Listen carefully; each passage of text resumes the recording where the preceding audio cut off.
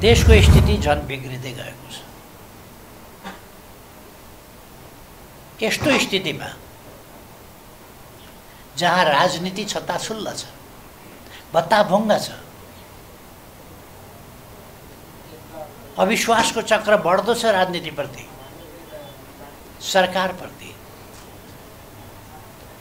विश्वसनीयताको deficit. त्यसको parameter. तल झरेको झरै छ। तर मान्छेको अलिक शरम पचाउने क्षमता पनि वृद्धि भएको भइ देखिन्छ राष्ट्रियता अप्ठ्यारोमा छ भौगोलिक अखण्डता अप्ठ्यारोमा छ भूगोल खुम्चिलो छ।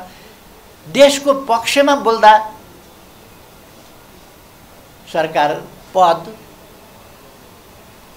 खतरामा पर्छ भनेर राष्ट्रको पक्षमा बोल्न सकिँदैन भने त्यस्तो सरकार भनेको त्यो देशको सरकार भन्न लायकै छैन।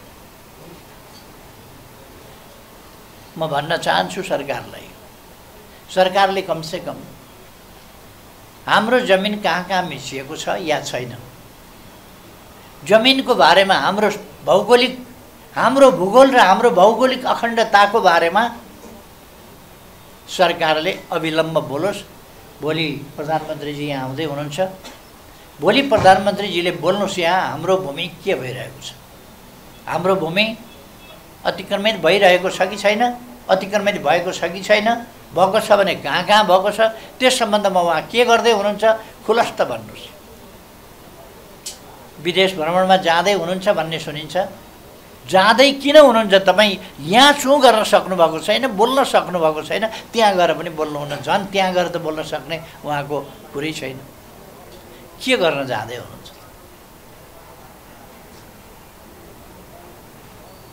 उहाँ आफ्नो जमिनको दावेदारी गर्दैन जाँदै हुनुहुन्छ कि? अरू नै कुरा। प्रश्न दावेदारी कि ताबेदारी भन्ने आउँछ? के गर्न देशको आर्थिक अवस्था विकास त अगाडि बढेकै छैन। विकास पछाडि धकेलिँदो छ। आर्थिक वृद्धि दर कमजोर छ। वैदेशिक मुद्राको सञ्चिति नाजुक अवस्थामा छ। तरलता तरलता फेरि पनि उस्तै अभाव छ। ब्याङ्कसँग पैसा छैन। लगानी गर्ने पैसा छैन।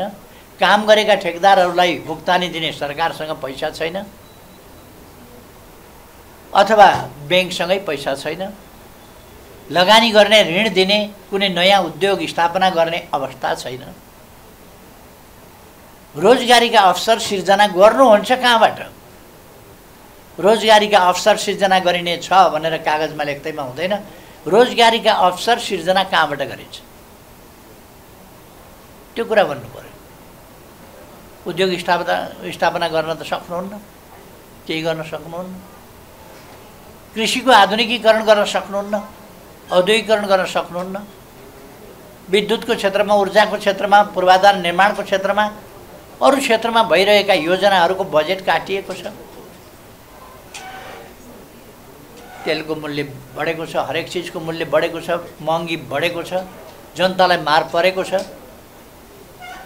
यस सम्बन्धमा संक्षिप्तमा भन्ने हो भने देशको अवस्था अत्यन्त नाजुक छ। अन्तर्राष्ट्रिय समुदायलाई पनि मान्य हुने गरी किन यो त एक ठाउँको मात्रै कुरा होइन।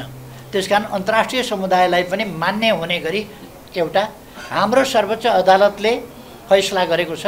त्यसको आधारमा दोस्रो दण्डहीनता भयो भन्ने होइन दण्डहीनताको अन्त्य गरिएको छ भन्ने हुने गरी। तेस्रो पीडितले परिपूरण र न्याय पाउने गरी उनीहरूको घाउमा मलमपट्टि लगाउने गरी त्यस चौथो यी कुराहरू मैले राखेको छु।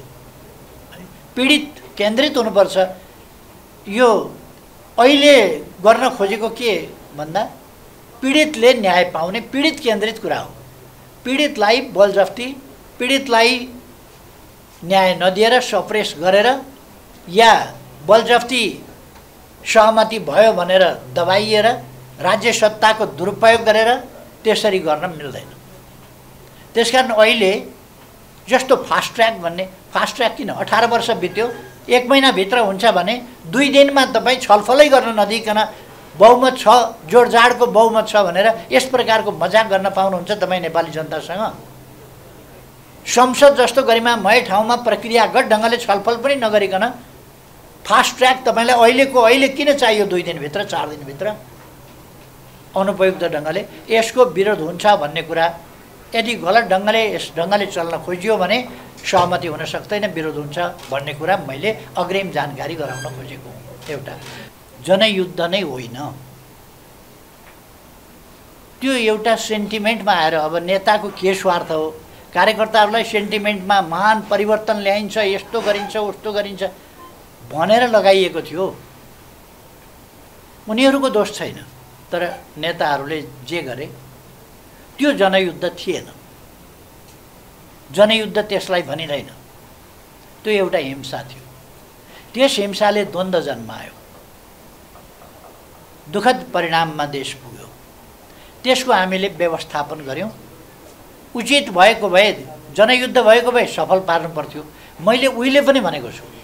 र अर्को कुरा दुई हजार सन्ताउन्न सालको हिमाल खबर पत्रिकामा तपाईँले मेरो एउटा आर्टिकल छ। त्यो हेर्नुभयो भने सन्ताउन्न सालमा मैले माओवादी आन्दोलन पनि होइन एउटा समस्या हो जसको समाधान गर्नुपर्छ भनेको थिएँ। र पछि हामीले अघि मैले कसरी कसरी सम्बोधन गर्दै आयौँ भनेर एउटा इतिहास नै सुनाएँ पनि। कसरी सम्बोधन गर्दै आयौँ त? त्यसलाई समाधान कसरी दिँदै आयौँ भन्ने कुरा। त्यसकारण हामीले कहिल्यै पनि त्यसलाई महान जनयुद्ध भनेको छैन। महान जनयुद्ध भनेर विदा गर्ने राष्ट्रको उत्सव हो भनेर सत्ताको दुरुपयोग गरेर उधुम मचाउने यस खालका कुरा म सरकारमा मेरो पार्टी छँदा छँदै प्रचण्डले एकतर्फी रूपमा त्यो गर्नुभयो मैले उहाँलाई आलोचना गरेँ। यो भएन। त्यस बेला मैले सरकारमा हुँदा हुँदै गरेको आलोचना तपाईँले सुन्नुभएको होला। यो ठिक गर्नु भएन यो अनुचित हो भनेर।